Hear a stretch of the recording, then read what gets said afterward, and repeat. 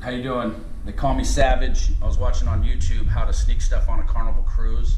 It looked kind of stupid to me, but let me show you the right way to do it. You ready? Here's the final product. Go with some workout stuff. It's very common. They say you can take milk in a container.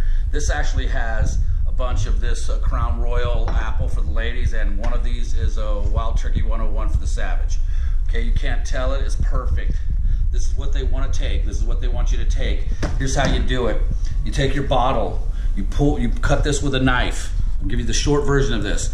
You fold that out, you take these out. See how that's been drilled?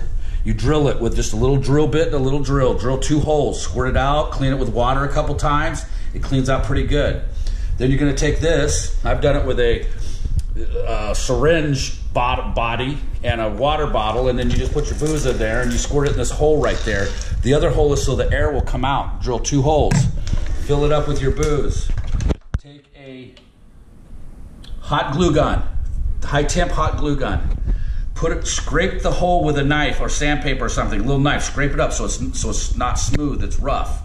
Then you're going to you're going to hot glue all around it, right on the hole. You're going to pull off a little Teflon tape. You're going to take that Teflon tape and put it right on top of it. It's going to look like that. It is 100% sealed. It's on the bottom of the bottle. You put it back in the thing. You hot glue or glue this flap. Put it all in there. Glue the flap back up, and you're set. And that's how you do it Savage way.